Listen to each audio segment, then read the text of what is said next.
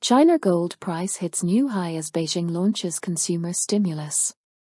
The gold price in China, the precious metals number one mining, consumer, and central bank buying nation, set a new all-time high on Wednesday as the yuan weakened on the currency market amid expectations of fresh economic stimulus by the Beijing authorities.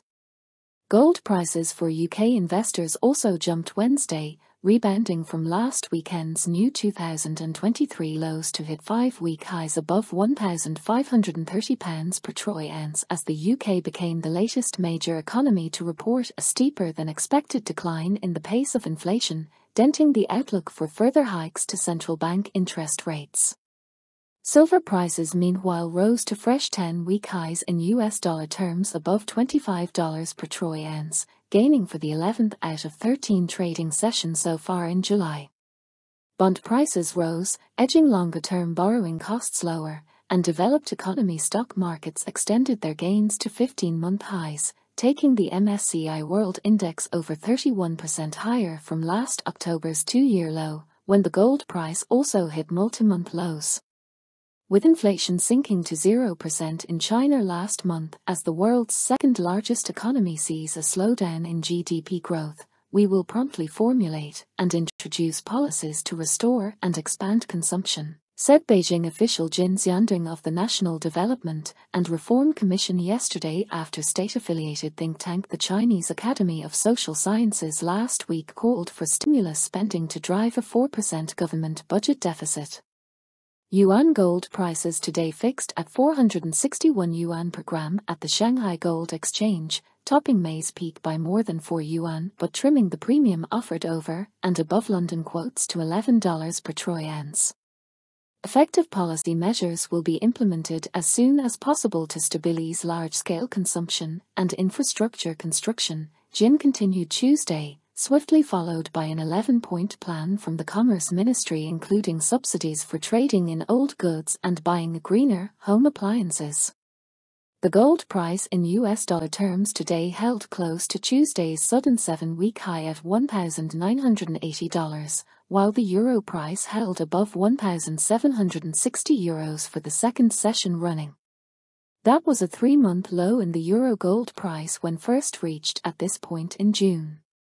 still well above the historically typical average of $8 incentive for new bullion shipments into China. The declining Shanghai premium suggests weaker consumer demand for the precious metal, masked by the People's Bank of China limiting gold import quotas and thereby keeping domestic supplies tight.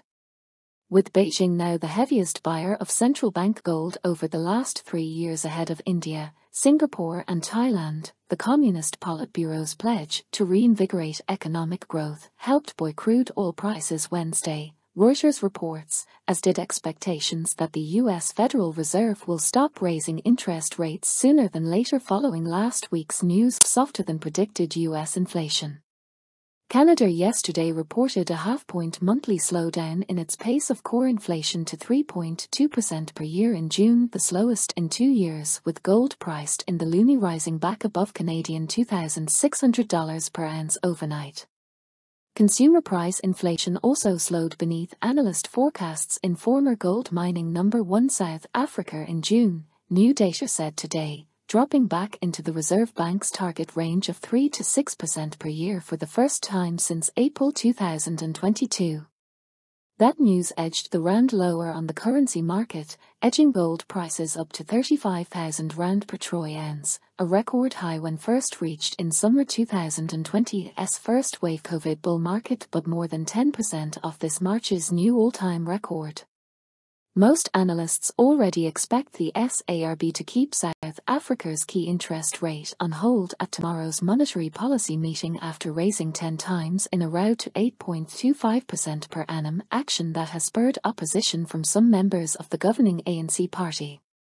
South Africa's President Cyril Ramaphosa will now be joined at next month's summit of the BRICS nations in Johannesburg by Russia's Foreign Minister Sergei Lavrov rather than President Vladimir Putin summit, his office said today a mutual agreement after Moscow made it clear that arresting its sitting president under the war crimes warrant issued by the International Criminal Court would be a declaration of war.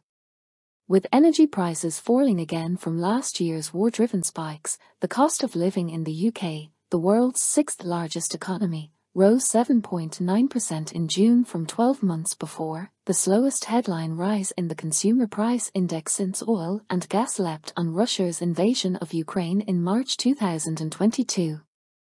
but underlying UK inflation on the core CPI measure excluding fuel, food and other volatile costs slowed only 0.2 points to 6.9% per year, a three-decade record outside of May's peak.